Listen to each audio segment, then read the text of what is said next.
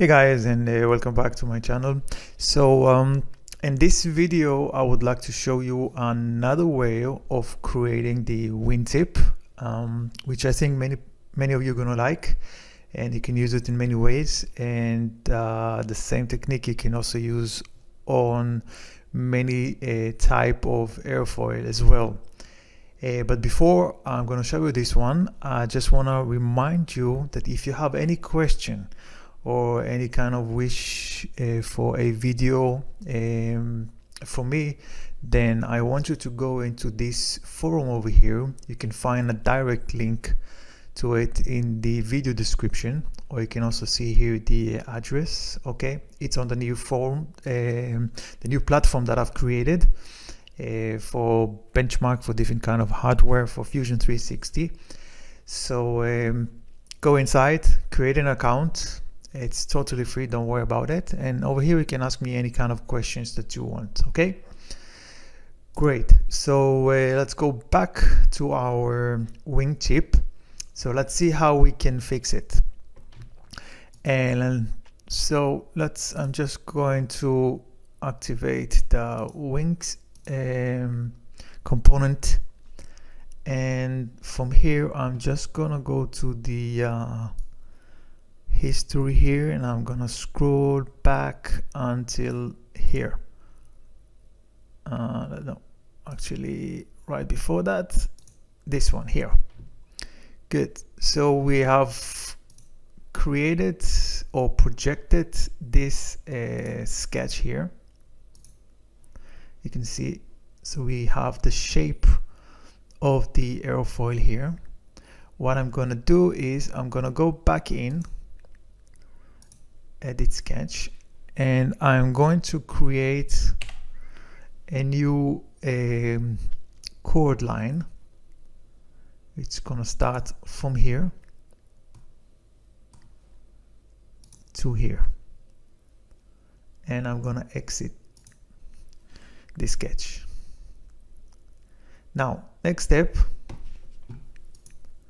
I'm gonna go to patch environment and click on create revolve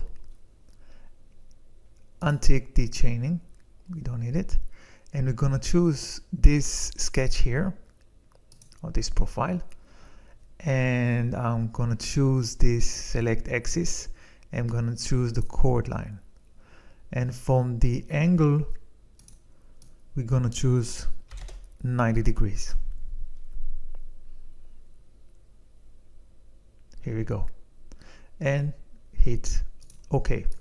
So now we need to finish the the other side. How are we gonna do this? Okay so there are two ways. And you choose what works best for you.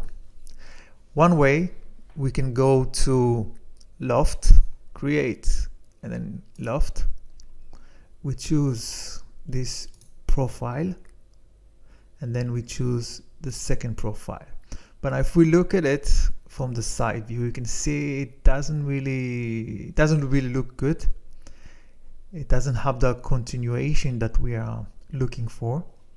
So if you go back here you can see um, we have connected G0 on both of them.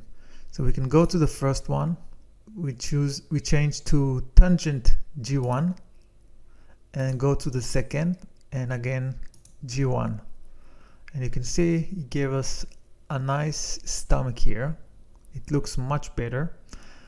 Or we can change it to G2 and then change the other one to G2 and see if it's gonna accept it.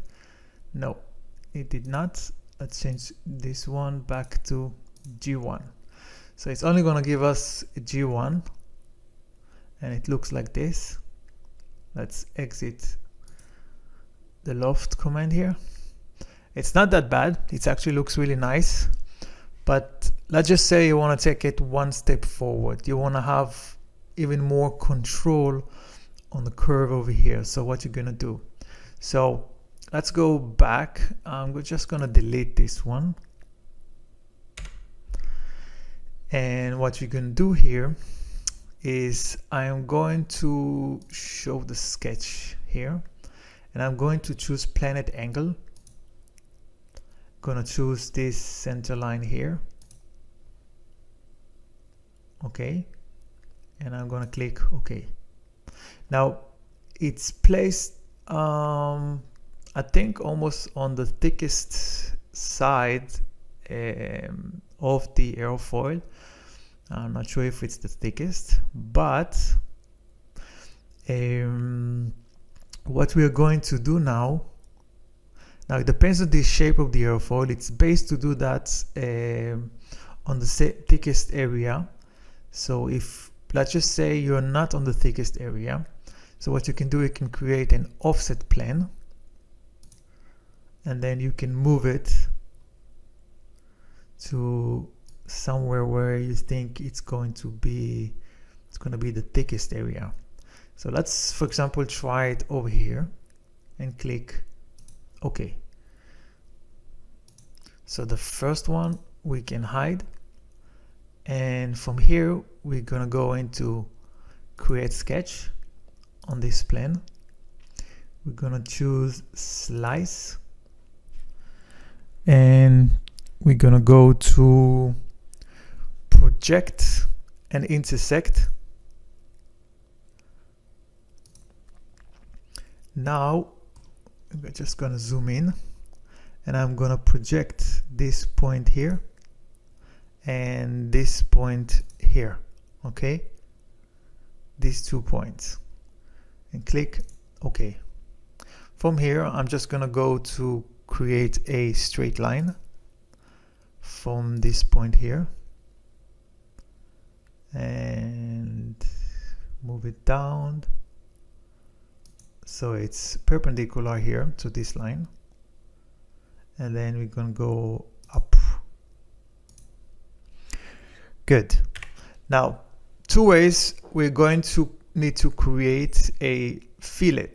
So you can either use the fillet command which in general it's not really that recommended or you can also create a circle and create a fillet out of it I'm just going to show you exactly how to do that. So we are going to create a tangent from here to here and then another tangent from here to here. And now we can trim the areas that we don't need.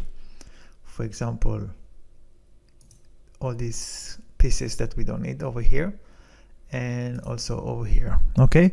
So this is how we create uh, the fillet. And if I want now I can change that the curve. So maybe something like that. Then we can finish the sketch. And now we can go back to our loft command and choose make sure there are no profile here. This profile and then we choose the second profile. And for the rail I'm gonna use this one this one and this one. Okay? So as you can see here we have much more control over the bottom side and how it's going to loft.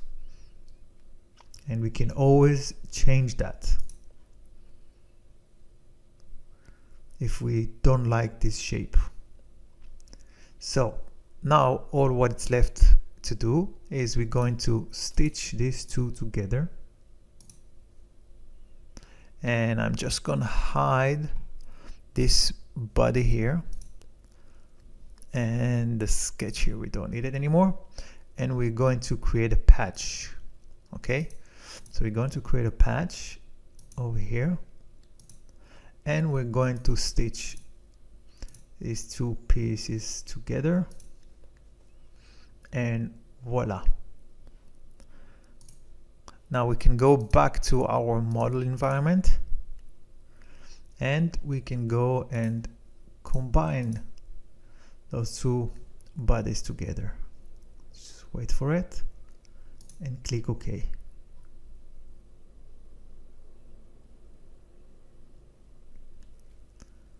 and here you go. It's very beautiful uh, wingtip.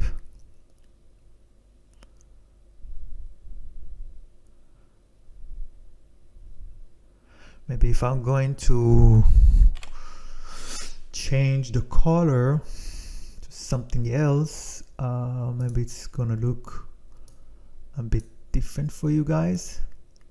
So you can see it a little bit better okay?